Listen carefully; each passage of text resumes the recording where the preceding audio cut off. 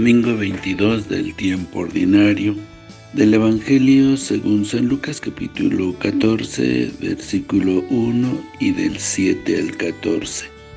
Un sábado Jesús fue a comer en casa de uno de los jefes de los fariseos, y estos estaban espiándolo. Mirando cómo los convidados escogían los primeros lugares, les dijo esta parábola.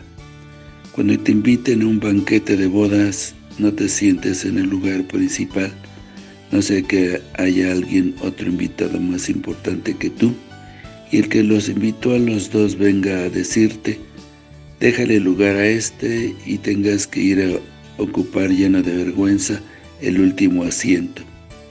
Por el contrario, cuando te inviten, ocupa el último lugar, para que cuando venga el que te invitó, te diga, amigo, acércate a la cabecera. Entonces te verás honrado en presencia de todos los convidados, porque el que se engrandece a sí mismo será humillado, y el que se humilla será engrandecido. Luego dijo a los que había invitado, cuando des una comida o una cena, no invites a tus amigos, ni a tus hermanos, ni a tus parientes, ni a tus vecinos ricos, porque puede ser que ellos te inviten a su vez y con eso quedarás recompensado. Al contrario, cuando des un banquete, invita a los pobres, a los lisiados, a los cojos y a los ciegos, y así serás dichoso, porque ellos no tienen con qué pagarte. Pero ya se te pagará cuando resuciten los justos. Palabra del Señor. Gloria a ti, Señor Jesús. En el contexto de un banquete, Jesús da unas enseñanzas sobre las virtudes que deben tener sus discípulos. Lo hacen por medio de parábolas, como es su costumbre hacerlo. La primera enseñanza se refiere a la humildad, observando el comportamiento de algunas personas que pretendan ocupar los lugares de más honra.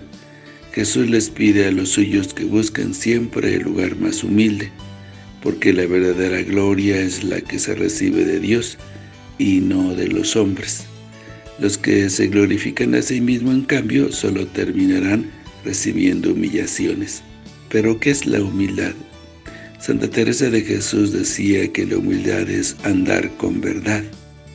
Es decir, se trata de no creerse, de no querer aparecer superior o mejor que los demás, porque en realidad no lo somos. No somos ni superiores ni inferiores, sino iguales en dignidad y diferentes en nuestra, en nuestra persona.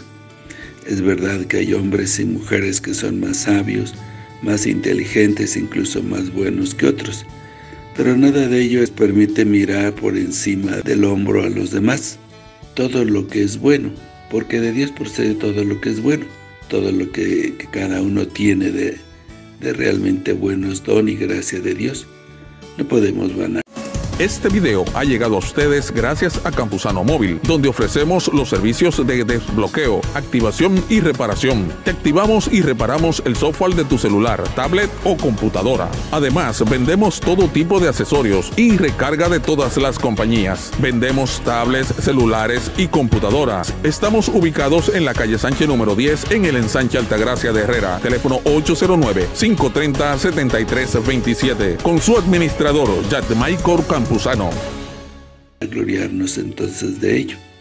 Y todo lo que tenemos de malo nos obliga a rechazar cualquier tentación de orgullo o vanidad.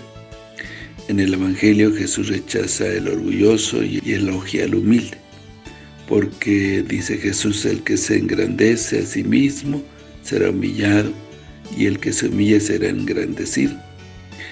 En la sociedad en que vivió Jesús se buscaba conseguir los primeros puestos, cada uno en su nivel social. Si Jesús viera en nuestra sociedad, aún sería más insistente en esta cuestión, porque es la misma organización social y económica de nuestra sociedad capitalista la que está montada sobre el incentivo y querer tener más que los demás. La humildad no tiene buena fama en la sociedad capitalista, y basta ver algún programa de televisión hoy el internet para ver que se presenta como modelos a quienes más se afanan por ocupar los primeros puestos. Muchos pensadores modernos dicen que El hombre tiene que desarrollarse a sí mismo, tanto en el plano individual como en el social. Y piensan que la humildad disminuye al hombre y lo empobrece psíquicamente. Nosotros estamos cerca del reino de Dios cuando no actuamos en función del premio o del castigo, sino por un amor puro y desinteresado.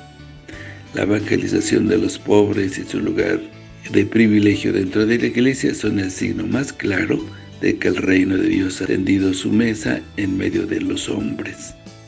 Que el Señor los bendiga.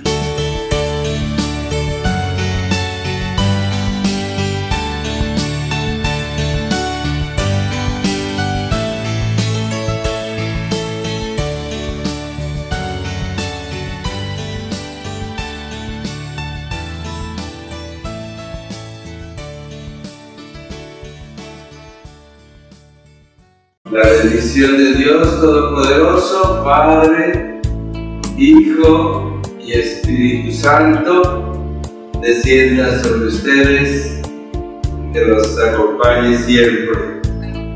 Que el Señor los bendiga. Si te gustó este video y deseas seguir recibiendo el Evangelio, misa en vivo, oraciones y muchas reflexiones más, Ayúdanos a seguir creciendo. Suscríbete a este canal de YouTube. Activa la campana de notificaciones. Deja tu comentario. Dale me gusta. Y compártelo con todos tus seres queridos. Que el Señor te bendiga a ti y a toda tu familia. Bendiciones.